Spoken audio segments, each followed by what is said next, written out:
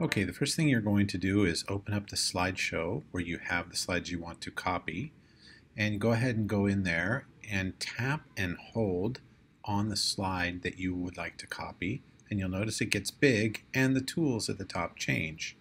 If you want to copy more slides just tap on those as well and then go ahead and tap on the copy icon.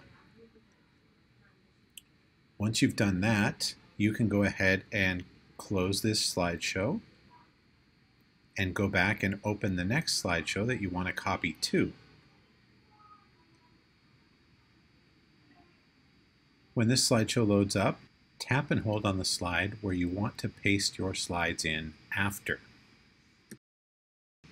And then go ahead and click on the clipboard icon and that will paste them in.